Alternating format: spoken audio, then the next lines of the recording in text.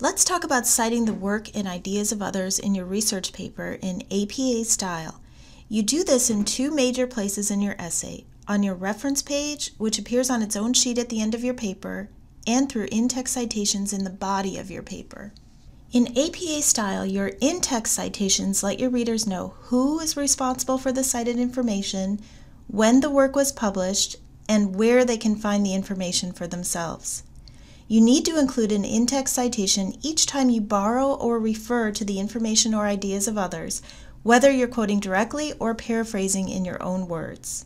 Let's look at some examples of how we do this. In-text citations give credit to your source and help your readers locate the cited source in the References section of your paper. Whenever you use a source, you provide in parentheses the author's name and the date of publication. If you use an exact quotation or you are paraphrasing an author's words, you should provide the author's last name, date of publication, and a page number. If you're summarizing a longer work, be sure to include the author's last name and the date. Whether you are paraphrasing or quoting, you'll typically use a signal phrase to introduce the quotation with the author's last name, the year, and the page number included. In APA style, this can be done like this, with the author's last name, year, and page number at the end of the sentence. Or it can be done like this, with the author's name mentioned in the signal phrase, followed by the date in parentheses and the page number at the end. There are many ways that you can vary the signal phrases you use. Try to mix it up so your paper has a nice flow and doesn't sound repetitive. Let's look at some special situations. If there are two authors, you'll use the AND in between the authors' names. In the parenthetical citation, you will use the ampersand between the names, the symbol for AND. When citing a work with three to five authors, you will name all of the authors in the signal phrase or the in-text citation. If you reference this source again, you will only need to use the first author's name followed by et al., meaning and others.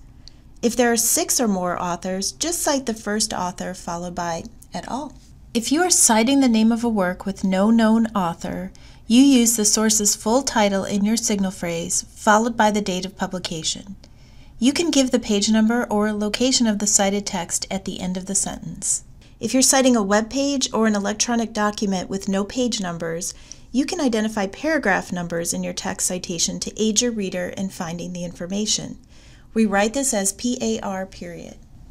APA also has specific guidelines for inserting a graph, table, image, or figure into your work. Let's say we wanted to insert this image about the expansion of coyotes in the United States into this paper. First, the guidelines say that it's important that you mention the figure in the text. So in the text of our paper, we could say something like, Figure 1 shows the expansion of coyotes in the U.S. from 1900 to 2016.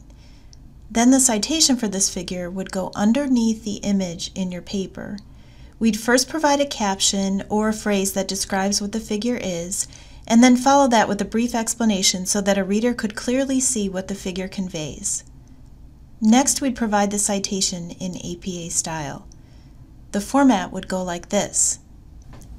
I'm showing you a model so that you can fill in your own information.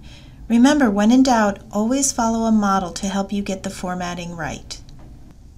If you'd like to double check that your in-text citations are correct, you should be able to cross-reference each parenthetical citation with the first word of the citation on your references page. This video doesn't cover everything that might come up with APA in-text citations, but it should give you a great start. Complete the in-text exercise provided with this video and bring it to the Writing Center for feedback. And remember, if you have questions, you can always drop into the Writing Center for help or access one of the helpful resources on our webpage and use our samples to help you. Watch our next video to get the basics on formatting your APA style references page.